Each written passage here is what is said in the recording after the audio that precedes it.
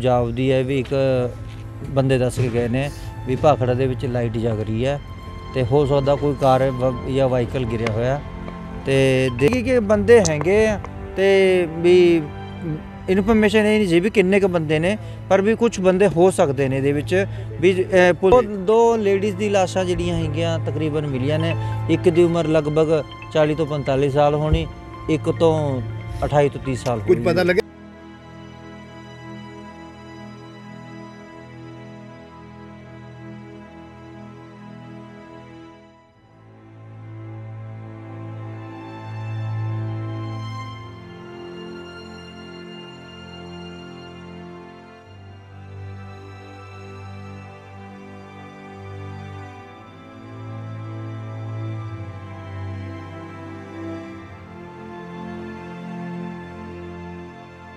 ਭਾਈ ਕੀ ਨਾਮ ਹੈ ਜੀ ਤੁਹਾਡਾ? ਮੇਰਾ ਸ਼ੰਕਰ ਭਾਰਦਵਾਜ ਬੋਲੇ ਸ਼ੰਕਰ ਟਾਈਬਰ ਕਲੱਬ ਦੀ ਟੀਮ ਹੈ। ਕੀ ਹੋਈ ਕਿਹੜੀ ਜਗ੍ਹਾ ਤੁਹਾਨੂੰ ਕਦੋਂ ਇਤਲਾਹ ਮਿਲੀ ਕੀ ਜੀ ਇਹ ਲਗਭਗ 11 ਜਾਂ ਪੌਣੇ 12 ਦਾ ਟਾਈਮ ਸੀਗਾ ਜਦੋਂ ਐਸਐਚਓ ਪਸਿਆਣਾ ਦਾ ਫੋਨ ਆਇਆ ਵੀ ਸਾਨੂੰ ਜਾਪਦੀ ਹੈ ਵੀ ਇੱਕ ਬੰਦੇ ਦੱਸ ਕੇ ਗਏ ਨੇ ਵੀ ਭਾਖੜਾ ਦੇ ਵਿੱਚ ਲਾਈਟ ਜਗ ਰਹੀ ਹੈ ਤੇ ਹੋ ਸਕਦਾ ਕੋਈ ਕਾਰ ਜਾਂ ਵਾਹੀਕਲ ਗਿਰਿਆ ਹੋਇਆ। ਤੇ ਦੇਰੀ ਨਾ ਕਰਦੇ ਹੋਏ ਮੈਂ ਇੱਥੇ ਨਾਲ ਦੀ ਨਾਲ ਹੀ ਪਹੁੰਚ ਗਿਆ। ਇਮੀਡੀਏਟਲੀ ਸਮਾਣੇ ਦੇ ਵਿੱਚ ਸਮਾਣੇ ਜਿਹੜੇ ਗੋਤਾਖੋਰ ਸੀਗੇ, ਉਹਨਾਂ ਨੂੰ ਫੋਨ ਕਰਿਆ ਗਿਆ। ਉਹ ਵੀ, ਉਹ ਉਹ ਵੀ ਮੌਕੇ ਤੇ ਪਹੁੰਚ ਗਏ। ਸਮਾਣੇ ਵਾਲੇ ਵੀ ਮੌਕੇ ਤੇ ਪਹੁੰਚ ਗਏ ਤੇ ਸਰਚ ਆਪਰੇਸ਼ਨ ਜਿਹੜਾ ਸੀਗਾ, ਉਹ ਸ਼ੁਰੂ ਹੋ ਗਿਆ। ਉਹ ਕਹਿੰਦੇ ਵੀ ਜਿਹੜੀ ਲਾਈਟਾਂ ਨੇ, ਉਹ ਜਗ ਰਹੀਆਂ ਸੀਗੀਆਂ, ਪਰ ਜਦੋਂ ਅਸੀਂ ਆਏ ਤਾਂ ਲਾਈਟਾਂ ਕੋਈ ਵੀ ਨਹੀਂ ਜਗ ਰਹੀਆਂ ਸੀਗੀਆਂ ਤੇ ਅਸੀਂ ਮਤਲਬ ਸਾਰੇ ਪਾਸੇ ਦੇਖਿਆ ਤੇ ਜੰਪ ਕਰਵਾਇਆ ਉਸੇ ਵੇਲੇ ਰਾਤ ਨੂੰ ਠੰਡ ਦਾ ਮੌਸਮ ਬਹੁਤ ਸੀਗਾ ਤੇ ਪਰ ਲਾਈਟ ਦਾ ਇੱਥੇ ਪ੍ਰਬੰਧ ਨਾ ਹੋਣ ਕਾਰਨ ਦਿੱਕਤ ਦਿੱਕਤ ਸਾਨੂੰ ਪੈ ਰਹੀ ਸੀ ਇਸ ਚੀਜ਼ ਦੀ। ਤੇ ਉਸ ਤੋਂ ਬਾਅਦ ਦੂਜੀ ਟੀਮ ਜਿਹੜੀ ਹੈ ਉਹ ਤਕਰੀਬਨ 3 ਤੋਂ 4 ਵਜੇ ਦੂਜੀ ਟੀਮ ਆਈ ਹੈ ਤੇ ਪਰ ਸਾਨੂੰ ਲੋਕੇਸ਼ਨ ਜਿਹੜੀ ਹੈ ਉਹ ਗਲਤ ਦੱਸੀ ਜਾ ਰਹੀ ਸੀਗੀ। ਤੇ ਜਾਂ ਉਹਨਾਂ ਦੇ ਦੱਸਣ 'ਚ ਫ਼ਰਕ ਹੈ ਜਾਂ ਗੱਡੀ ਇੱਧਰ ਸ਼ਾਇਦ ਪਾਣੀ ਦੇ ਤੇਜ਼ ਵਹਾਅ ਨਾਲ ਇੱਧਰ ਨੂੰ ਆ ਗਈ। ਪਛਾਣ ਹੋਈ ਸ਼ੰਕਰ ਜੀ ਕਿੰਨੇ ਕੁ ਵਿੱਚ ਬੰਦੇ ਸੀ ਕਿੰਨੀ ਇਨਫੋਰਮੇਸ਼ਨ ਤੁਹਾਨੂੰ ਸੀ ਕਿ ਵਿੱਚ ਬੰਦੇ ਹੁੰਦੇ ਸੀ ਭਾਵਨਾ ਸੀਗੀ ਕੁਝ ਹੋਇਆ ਪਛਾਣ ਬੰਦਿਆਂ ਦੀ ਤਾਂ ਇਹ ਸੀਗੀ ਕਿ ਬੰਦੇ ਹੈਗੇ ਆ ਤੇ ਵੀ ਇਨਫੋਰਮੇਸ਼ਨ ਇਹ ਨਹੀਂ ਜੀ ਵੀ ਕਿੰਨੇ ਕ ਬੰਦੇ ਨੇ ਪਰ ਵੀ ਕੁਝ ਬੰਦੇ ਹੋ ਸਕਦੇ ਨੇ ਇਹਦੇ ਵਿੱਚ।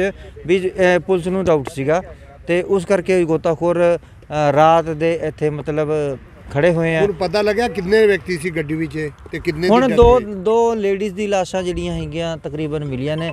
ਇੱਕ ਦੀ ਉਮਰ ਲਗਭਗ 40 ਤੋਂ 45 ਸਾਲ ਹੋਣੀ ਇੱਕ ਤੋਂ 28 ਤੋਂ 30 ਸਾਲ ਕੁਝ ਹੋਣੀ ਪਤਾ ਲੱਗਿਆ ਕਿੱਥੇ ਦੇ ਰਹਿਣ ਵਾਲੇ ਹੈ ਨਹੀਂ ਇਹ ਸਾਨੂੰ ਹਲੇ ਤੱਕ ਇਹ ਸਾਡੇ ਇਹਦੇ ਬਾਰੇ ਕੋਈ ਜਾਣਕਾਰੀ ਨਹੀਂ ਦਿੱਤੀ ਹੈਗੀ। ਪਰ ਵੈਸੇ ਸੁਣਿਆ ਵੀ ਇੱਥੇ ਬਠਿੰਡੇ ਕਾਰਨ ਦਾ side ਪਤਾ ਲੱਗਿਆ ਕੋਈ- ਕੀ ਕਾਰਨ? ਕਾਰਨਾਂ ਦਾ ਪਤਾ ਲੱਗਿਆ ਯਾਰ ਇਹਦੇ ਬਾਰੇ ਵੀ? ਕੁਝ ਨਹੀਂ ਦੱਸਿਆ ਗਿਆ ਸਾਨੂੰ। ਤੇ ਹੁਣ ਸਾਰਿਆਂ ਨੂੰ ਮੋਚਰੀ ਭੇਜ ਦਿੱਤਾ ਗਿਆ? ਆ ਆ ਅਸੀਂ ਐਂਬੂਲੈਂਸ ਬੁਲਾਈ ਹੈ ਤੇ ਜੋ ਵੀ ਖਰਚਾ ਹੋਇਆ ਉਹ ਸਾਰੇ ਗੋਤਾਖੋਰਾਂ ਨੇ ਕਰਿਆ ਆਪਣਾ ਸਾਰਾ ਕੁਝ ਤੇ ਗ੍ਰੇਨ ਵੀ ਗੋਤਾਖੋਰਾਂ ਨੇ ਬੁਲਾਈ ਹੈ ਹਰ ਚੀਜ਼ ਗੋਤਾਖੋਰਾਂ ਨੇ ਕਰਿਆ। ਤੇ ਐਂਬੂਲੈਂਸ ਵੀ ਗੋਤਾਖੋਰਾਂ ਨੇ ਬੁਲਾਈ ਹੈ ਤੇ ਡੈੱਡ ਬੋਡੀ ਜਿਹੜੀ ਹੈ ਉਹ ਭੇਜਤੀ ਹੈ। ਤੇ ਉੱਥੇ ਜਾ ਰਹੀ ਮੋਚਰੀ 'ਚ। ਜੋ ਇਹਨਾਂ ਦਾ ਸਮਾਨ ਸੀ ਗਹਿਣੇ ਸੀਗੇ ਉਹ ਵੀਡੀਓ ਬਣਵਾ ਕੇ ਉਤਰਵਾ ਕੇ ਅਸੀਂ ਪੁਲਿਸ ਦੇ ਹਵਾਲੇ ਕਰਤੇ ਕਿਉਂਕਿ? ਕਿਉਂਕਿ ਗੋਤਾਖੋਰਾਂ ਤੇ ਨਾ ਕਾਫੀ ਜ਼ਿਲ੍ਹੇ ਨੂੰ ਲੱਗਦੇ ਸੀਗੇ ਵੀ ਗੋਤਾਖੋਰ ਗਹਿਣੇ ਲਾ ਲੈਂਦੇ ਨੇ ਗੋਤਾਖੋਰ ਸਮਾਨ ਤਾਰ ਲੈਂਦੇ ਨੇ। ਸੋ ਉਹਦੀ ਇਨਸਾਨੀਅਤ ਅੱਜ ਪੱਤਰਕਾਰਾਂ ਨੇ ਵੀ ਦੇਖ ਲਈ ਤੇ ਪਬਲਿਕ ਨੇ ਵੀ ਦੇਖ ਲਈ ਤੇ ਪੁਲਿਸ ਨੇ ਵੀ ਦੇਖ ਲਈ ਹੈ।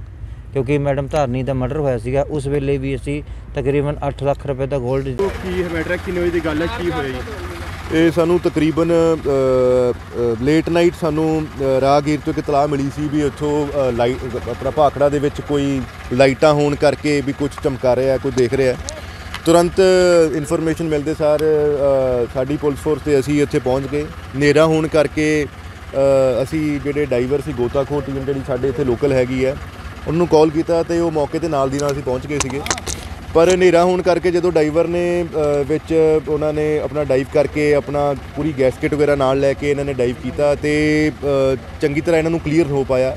ਇੱਕ ਪਾਣੀ ਦਾ ਫਲੋ ਬੜਾ ਸੀ ਇੱਕ ਠੰਡ ਹੋਣ ਕਰਕੇ ਇਹਨਾਂ ਨੂੰ ਵੀ ਅ, ਮੁਸ਼ਕਲਾਂ ਆ ਰਹੀਆਂ ਸੀਗੀਆਂ।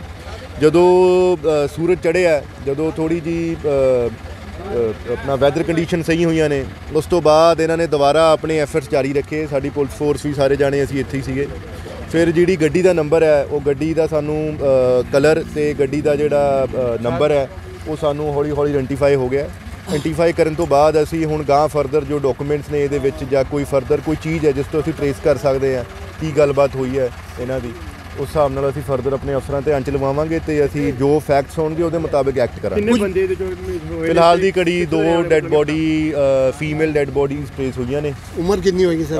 ਉਮਰ ਅੰਦਾਜ਼ਾ ਹਲੇ ਵੇਖੋ ਕਾਫੀ ਜ਼ਿਆਦਾ ਜਿਵੇਂ ਨਾ ਰਾਤ ਕਦੇ ਕੋਈ ਡੈੱਡ ਬੋਡੀ ਕਦੇ ਹੁੰਦੀ ਹੈ ਤੇ ਉਹਨਾਂ ਦੀ ਜੋ ਸਕਿਨ ਦੀਆਂ ਹੁੰਦੀਆਂ ਨੇ ਜਾਂ ਸਾਰੇ ਉਹਦੀ ਕੰਡੀਸ਼ਨ ਹੁੰਦੀ ਬੋਡੀ ਦੀ ਉਹ ਚੇਂਜ ਹੋ ਜਾਂਦੀ ਹੈ ਤੇ ਹੌਲੀ ਹੌਲੀ ਕਰਕੇ ਡਾਕਟਰਾਂ ਕੋਲ ਜੋ ਅਸੀਂ ਲੈ ਕੇ ਜਾਵਾਂਗੇ ਆਇਡੈਂਟੀਫਾਈ ਹੋ ਜਾਊਗਾ ਜਿਵੇਂ ਵੀ ਗੱਲ ਹੋਊਗੀ ਧਿਆਨ ਚ ਕੁਝ ਪਤਾ ਲੱਗਾ ਜੀ ਕਿੱਥੇ ਦੇ ਰਹਿਣ ਵਾਲੇ ਤੇ ਕਿੰਨੇ ਵਿਅਕਤੀ ਸੀ ਗੱਡੀ ਜਿਹੜਾ ਗੱਡੀ ਦਾ ਨੰਬਰ ਹੈ ਉਹ ਹੈਗਾ PB 35R ਤੇ 0047 ਆ ਇਹਨਾਂ ਦੀ ਇੱਕ ਕਾਰ ਦੇ ਵਿੱਚੋਂ ਆਰਸੀ ਮਿਲੀ ਹੈ। ਜਿਹੜਾ ਕਾਰ ਦੀ ਆਰਸੀ ਦੇ ਮੁਤਾਬਕ ਕਿਸੇ ਵਿਅਕਤੀ ਦੇ ਨਾਮ ਤੇ ਹੈ ਤੇ ਉਹਦਾ ਐਡਰੈਸ ਲਿਖਿਆ ਹੋਇਆ ਹੈ। ਅਸੀਂ ਉਸ ਮੁਤਾਬਕ ਅਸੀਂ ਤਾਲਮੇਲ ਕਰਦੇ ਨਾ ਪਰਿਵਾਰ ਦੇ ਨਾਲ। ਹੁਣੇ ਜਸਟ ਕਾਰ ਕੱਢੀ ਹੋਈ ਹੈ ਗੋਤਾਖੋਰ ਟੀਮ ਨੇ ਤੇ ਪੁਲਿਸ ਨਾਲ ਸੀ, ਨਾਲ ਮੀਡੀਆ ਵਾਲੇ ਸੀ, ਨਾਲ ਰਾਹਗੀਰ ਸੀਗੇ। ਉਹਨਾਂ ਦੀ ਸਾਰਿਆਂ ਦੀ ਮਦਦ ਦੇ ਨਾਲ ਅਸੀਂ ਸਫਲਤਾ ਹਾਸਲ ਕੀਤੀ ਹੈ ਤੇ ਜਿਵੇਂ ਵੀ ਗੱਲ ਹੋਊਗੀ ਫੈਕਟਸ ਹੋਣਗੇ, ਅਸੀਂ ਐਕਟ ਕਰਾਂਗੇ। ਚਮਤਕਾਰ ਹੁੰਦੇ ਨੇ। ਦੇਖੋ ਆਪਣੀਆਂ ਅੱਖਾਂ ਸਾਹਮਣੇ। 3 ਘੰਟੇ 'ਚ ਹਰ ਪਰੇਸ਼ਾਨੀ ਦਾ ਹੱਲ ਪਾਓ। ਸੱਤ ਇਲਮਾਂ ਦੇ ਮਾਹਿਰ ਪੰਡਿਤ ਹੇਮਰਾਜ ਸ਼ਾਸਤਰੀ ਜੀ। ਮੇਰੇ ਕੀਤੇ ਨੂੰ ਕੋਈ ਕੱਟ ਨਹੀਂ ਸਕਦਾ। ਕੱਟਣ ਵਾਲੇ ਨੂੰ ਮੂੰਹ ਮੰਗਿਆ ਇਨਾਮ। ਪਰੇਸ਼ਾਨੀ ਜਿਵੇਂ ਮਨਚਾਹਾ ਪਿਆਰ ਪਤੀ ਪਤਨੀ ਚ ਅਣਬਣ ਕਾਲੇ ਜਾਦੂ ਦਾ ਖਾਤਮਾ ਬਿਮਾਰੀ ਦਵਾ ਨਾ ਲੱਗਣਾ ਵਸ਼ੀਕਰਨ ਕਰਵਾਓ ਜਿਸ ਨੂੰ ਚਾਹੇ ਉਸ ਨੂੰ ਆਪਣੇ ਵਸ 'ਚ ਕਰੋ। ਲਾਟਰੀ ਨੰਬਰ ਪਾਓ ਭਾਵੇਂ 649 ਹੋਵੇ ਜਾਂ ਲੋਟੋ ਮੈਕਸ ਧੋਖੇਬਾਜ਼ ਪ੍ਰੇਮੀ ਪ੍ਰੇਮਿਕਾ ਸੌਤਨ ਦੁਸ਼ਮਣ ਨੂੰ ਆਪਣੀਆਂ ਅੱਖਾਂ ਸਾਹਮਣੇ ਤੜਫਦਾ ਵੇਖੋ। ਪੰਡਿਤ ਹੇਮਰਾਜ ਸ਼ਾਸਤਰੀ ਜੀ ਮੋਬਾਈਲ ਨੰਬਰ 8968869352 8968915987